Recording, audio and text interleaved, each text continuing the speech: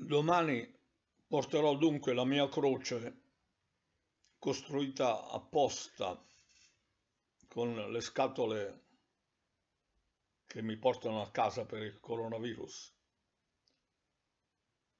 E è una croce relativa ai patimenti che io ho dovuto avere i tre digiuni per dare al papato che lo aveva chiesto un nuovo percorso come quello che Paolo iniziò inserendo la sua predicazione su quella degli apostoli che erano comandati da Pietro. Il Papa Giovanni Paolo II lo aveva auspicato. Uno solo al mondo ha cercato di farlo e si è trovato contro proprio la Chiesa che lo aveva chiesto. Io ho iniziato a digiunare per dimostrare al Papa che non aveva da temere in un nemico, mi consegnavo nelle sue mani, ma non è valso a nulla. È passato il tempo e non sono mai arrivate nemmeno delle scuse così, tanto per mettere a posto qualcosa. Ecco, i giorni che passano sono significativi e io qui ve li ho presentati, ma ve li mostro ad uno ad uno. La prima volta in cui io offrii la mia vita per il bene della Chiesa fu il 17 settembre del 99. Da allora, domani, sono 7535 giorni. È tutto il movimento di 2084 più 381 nel 10.000 che indica tutta quanta la realtà. 10 elevato a 4, ossia data da 10 per 10 per 10 per 10. L'ente, il movimento intero in tutta quanta la realtà è questo. È un'area i cui lati sono 1000 e 1000 e il cui flusso è il valore 84 del nome Esaù che vale 42, più Giacobbe che vale 42, nomi che poi formano il nome di Gesù con la prima lettera G di Giacobbe che si mette davanti a Esaù che perde la A del primato. E tutto questo accade in Genesi 25, proprio laddove io sono nato il gennaio del giorno 25. Ebbene, come vedete, questo ente deve inoltre sommare al flusso di Esaù e di Giacobbe che servono per realizzare il nome di Gesù il 381 che è il valore numerico di tutti e sei i miei nomi.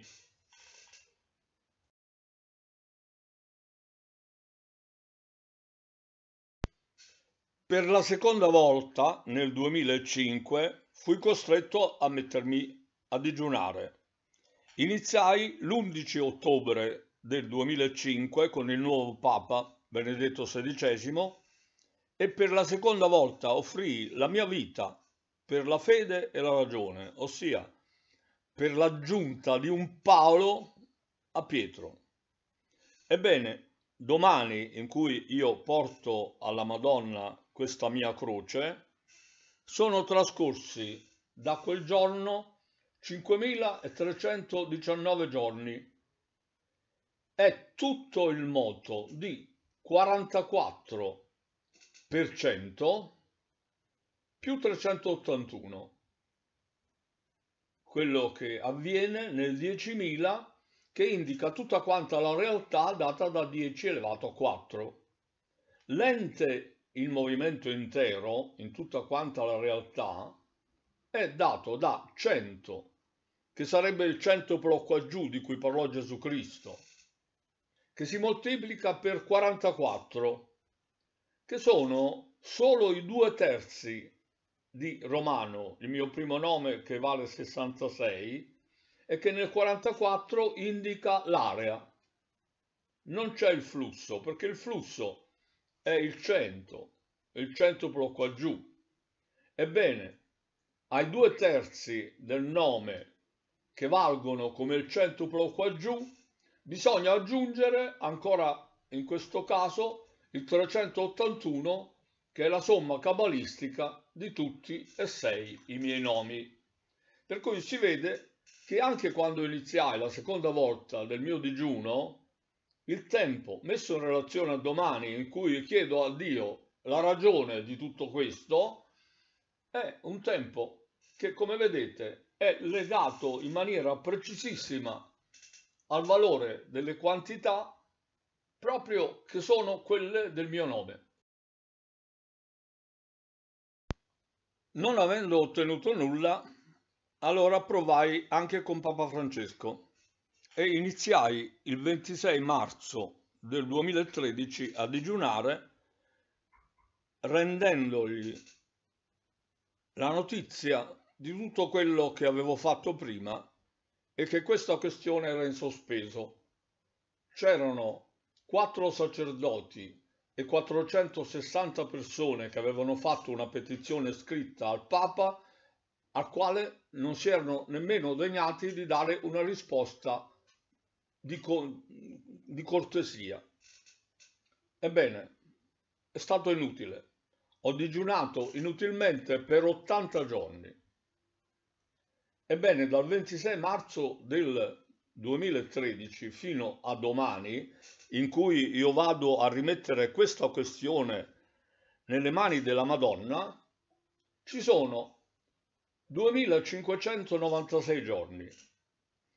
È tutto il moto di 7023 più 381 nel 10.000 che indica tutta quanta la realtà 10 elevato a 4 e l'ente in moto intero in tutta quanta la realtà è dato da 7000 che è la creazione intera data da 10 al cubo volte 7 giorni più 23 che sono le ore in cui uno che si ritrova in un giorno di 24 ore si muove si muove solo delle altre 23 che gli restano, però a questo movimento di 1 in tutta la creazione bisogna per la terza volta aggiungere 381 che riguarda tutto il valore alfanumerico del mio nome.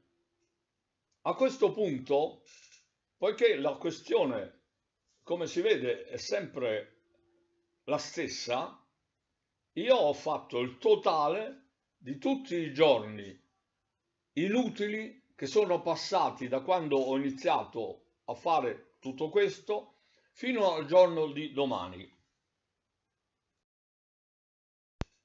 Tutti i giorni di cui vi ho reso l'evidenza prima sono 5.319 più 7.535 più 2.596 per un totale di 15.450. Questi sono tutti i giorni del sacrificio speso inutilmente per tre Pietro, dai quali non è venuto mai il benché minimo pentimento. Ora questo quantitativo totale, visto che è messo in relazione al primato di Pietro va analizzato proprio in relazione ai numeri primi.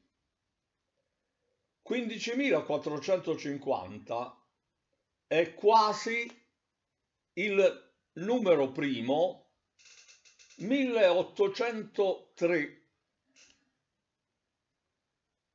Il numero primo 1803 misura 15.439, che rispetto a 15.450 deve solo avanzare interamente di tutta la presenza 1 del ciclo 10.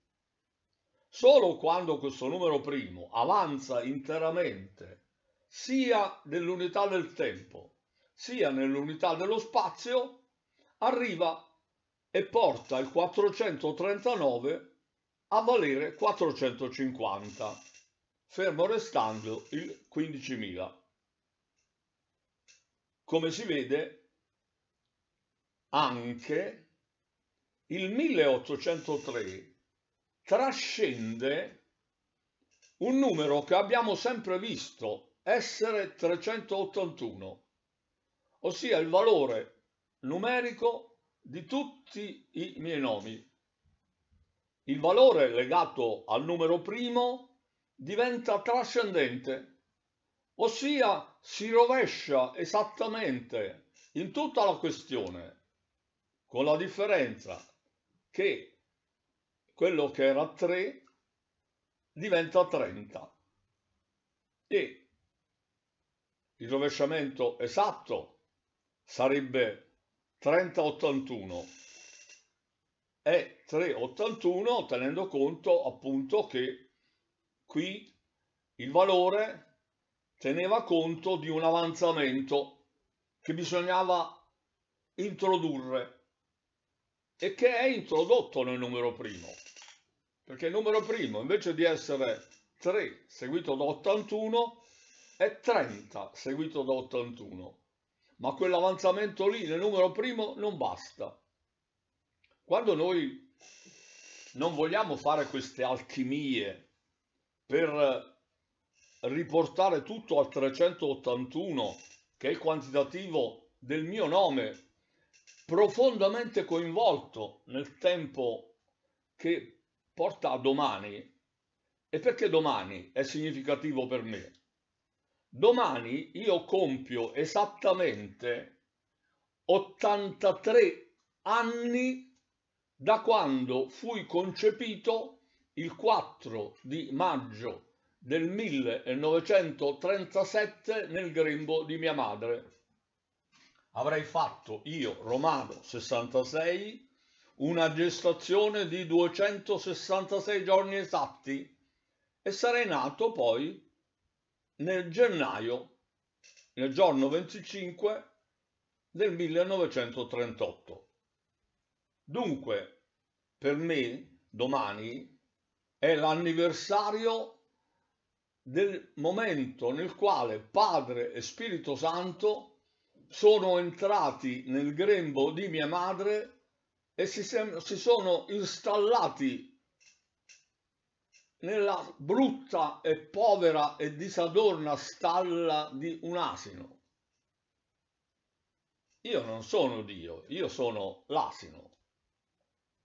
Ma quando questo asino fu concepito, ci furono Padre e Spirito Santo che si installarono sull'asino per reggerlo e guidarlo.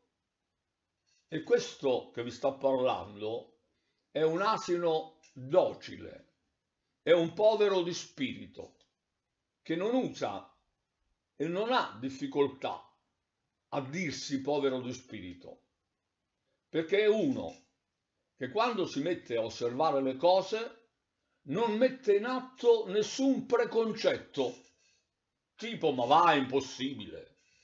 No, è talmente povero di spirito da accettare qualsiasi riscontro reale sia fatto. E anche questo riscontro fatto attraverso il computer, come vedete, che indica alcune cose, io le prendo per buone, perché io sono un povero di spirito. Non pongo davanti a ciò l'idea, ma va, è impossibile. Per me tutto è possibile quando è nelle mani di Dio. E io domani metterò nelle mani di Dio la questione proprio di questo che ho compiuto, rischiando per tre volte la salute e la vita verso i suoi Pietro. Essi non hanno fatto proprio nulla. Signore, io chiedo a te, libera il mondo dal coronavirus.